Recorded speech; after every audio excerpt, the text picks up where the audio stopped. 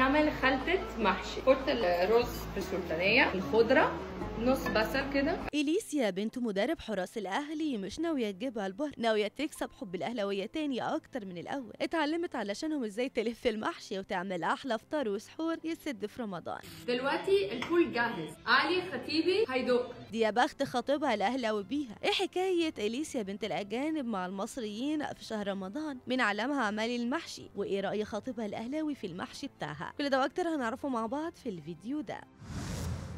حب الاهلي سيطر على أليسيا بنت مدرب حراس مرمى النادي البنت بقت خلاص واحدة من جماهير الأهلي ودخلت وسطهم. اتخطبت لواحد منهم وعرفت علشانه اسرار أكلهم وشربهم. أليسيا بنت الأجانب بقت تصوم رمضان زيها بالظبط زي مشجعي الأهلي المسلمين. بقت كمان بتعمل أكل زيهم. عمل زي أغلب المصريين في أول يوم رمضان. عملت حلة محشي تاكل منها لحد ما تشبع.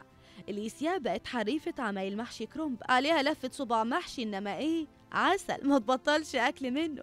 خفيف مش دسم خالص ولا تقيل على المعدة. عاملاه بتكات الأجانب وحركاتهم اللي ما بتخليش الأكل مسبك وتقيل. إليسيا عملت الأكل ده مخصوص علشان خاطر خطيبها الأهلاوي. ما هي مخطوبة لواحد مصري من مشجعي النادي الأهلي الكبار قوي المعروفين لكابتن الخطيب وإدارة النادي الأهلي. خطيب إليسيا المصري اسمه علي عثمان. هو مصري أبا عن جد صاحب شركة دعاية وإعلان مصرية. كانوا أعلنوا خطوبتهم دي للجماهير من فترة وده بعد نهاية مباراة الأهلي ومودرن فيوتشر بكأس السوبر المصري السنة اللي فاتت. وقتها زودوا حب الجماهير الأهلاوية الفرحة بقت فرحتين. المهم إن إليسيا دلوقتي بقت بنتنا بنت مصر يعني. مخطوبة لشاب مصري للعادات والتقاليد بتاعتنا خصوصا عادات الأكل والشرب. معروف إن في شهر رمضان لازم يكون في محشي على الفطار وفول وبيض في السحور. غير كده يبقى أنت مش مصري أو داخل علينا يا عم. علشان كده زي ما قلت إليسيا اتعلمت تعمل المحشي المصري لخطيبها واللي هيكون جوزها قريب.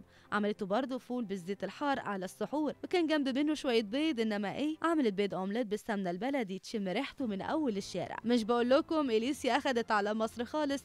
دي خلاص بقت تعرف تميز بين السمنة البلدي من السمنة المخلوطة. بقت بنت بلد بصحيح. ولا أنتم إيه رأيكم؟ قولوا لي رأيكم في الكومنتات. نسيت أقول لكم عن حاجة كمان عملتها إليسيا علشان خاطر خطيبها المصري. إليسيا ما شاء الله عليها بقت بتلبس عبايات وحاجات واسعة من اللي بتلبسها بنات مصر في شهر رمضان المبارك. إليسيا بتحاول على قد ما تقدر تكسب حب كل المصريين وكمان عطفهم هي مش بس عملت كده دي كمان بقت بتروح المساجد وبتظهر فيها. نشرت كام صورة ليها وهي قدام مسجد الصحابة بشرم الشيخ. صورها دي الحقيقة كانت تشرح القلب خالص. باين عليها الالتزام جدا. اللي عملته ده لفت نظر الأهلاوية الكتير ليها ويتكلموا عنها في كل مكان. مفيش موقع تواصل اجتماعي غير وفي أهلاوية بيتكلموا عنها فيه. مبهورين بيها وبالتغيير الإيجابي ده في حياتها.